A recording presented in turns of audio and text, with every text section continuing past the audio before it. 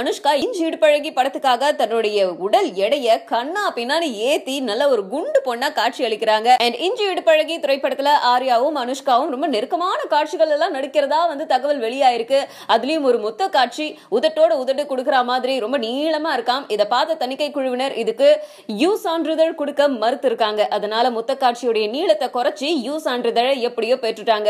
Tamil and Telugu ரெண்டுலயும் இந்த திரைப்படம் வெளியாகிறதுனால தெலுங்குல இந்த முத்த காட்சியை நீக்க நீக்கிறதுக்கு மறுத்துட்டாங்களாம். அதனால தெலுங்கு திரைப்படத்துக்கு யுஏ சான்றிதழ் கிடைச்சிருக்கு. அண்ட் இன்னொரு ஒரு சர்ப்ரைஸான விஷயம் என்னன்னா இந்த திரைப்படத்துல ஏகப்பட்ட செலிபிரிட்டிஸ் கௌரவ தோற்றத்துல நடிச்சிருக்காங்க. அதுல உங்களுக்கு பிடிச்ச செலிபிரிட்டி யாரு அப்படிங்கறத படம் வந்ததும் பார்த்து தெரிஞ்சுக்கோங்க. சண்முக பாண்டி நடிக்கிறாங்க மொழி படம்.